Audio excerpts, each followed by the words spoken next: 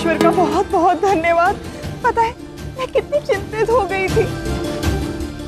वो तो भला हो इस युवक का, जिसने तुम्हें बचा लिया। ढूंढ रहे हो? मैं यहाँ हूँ।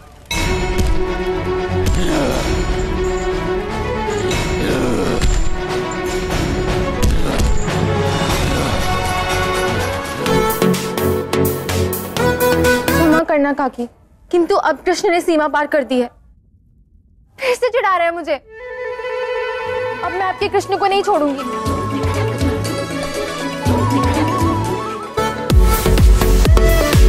कंधे तने हुए। आँखें स्थित और खुली। आँखें खुली और स्थिर। ठीक है?